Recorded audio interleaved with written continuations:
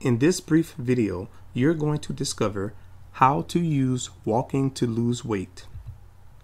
Walking has become a huge phenomenon in these recent years, and for good reasons. First off, walking is for the most part a very effective and safe fat burning exercise that almost anyone can participate in and virtually anywhere. It's very low impact when compared to running which is very stressing on your leg muscles and joints. Just look around and notice how many people are out walking. You see them during their lunch breaks pounding the pavement.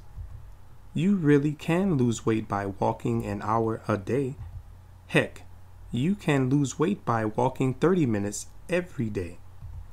The most important point is that you get out there and do it. If you want to use walking as a vehicle to lose weight, you have to set goals that work for you. You may want to learn some things before getting started. Walking is a good way to lose weight and is a great workout routine. However, to achieve your goals, you must establish a plan that's flexible enough that will allow you to stick with it. Walking is just as beneficial as running. These days, you see everyone walking instead of running, since the world has realized that they can burn just as many calories by taking a brisk walk. Some people speed walk, which is a brisk walk that works the muscles, toning them while the walker burns calories. How do you walk your way to fitness? All great accomplishments begin with goal setting. I know that for some, this is a boring process, but it's been proven to work more times than not. You must set your walking goals so that you'll have a roadmap that you can follow. This roadmap will guide and keep you on track as you walk your way to weight loss. An example goal would be I'd like to be able to walk for two to three miles nonstop within 30 days. Once you hit that goal, then up your game by either decreasing the amount of time it takes to walk those two to three miles or increase your walking distance to four miles.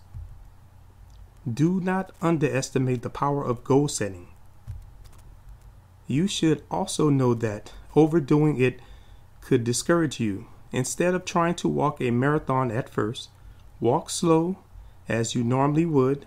Slowly work into a brisk walk. Overdoing it can also cause damage. You may pull muscles, which causes serious pain. The pain may discourage you from wanting to walk again, so take it nice and slow. Start the first week only walking about 25 minutes for five days and slowly go from there. During the second week, walk for 25 minutes the first day and advance your speed, walking for about two minutes. Add one minute every week, then maybe you can start walking up hills. This will help you to burn calories faster, which means you'll hit your fitness goals sooner here are some safety tips that you might want to consider when walking. Tip 1 Walk with one or more people to increase your safety. Tip 2 Walk in well lighted locations if walking at night. Tip 3 Avoid walking toward oncoming traffic if possible. Tip 4 Avoid walking in parks at night and other secluded places. After watching this brief video, do you think that you can really lose weight by walking an hour a day? Absolutely, you can. I'm a firm believer in keeping things simple, and if you are willing to put in a measly 30 to 60 minutes per day of walking, you can begin dropping your unwanted body fat. You only need a good pair of walking shoes to help protect your feet leg muscles, and joints from the low impact of walking. Seriously, start today as you don't need any special equipment. Click the link below to get more information.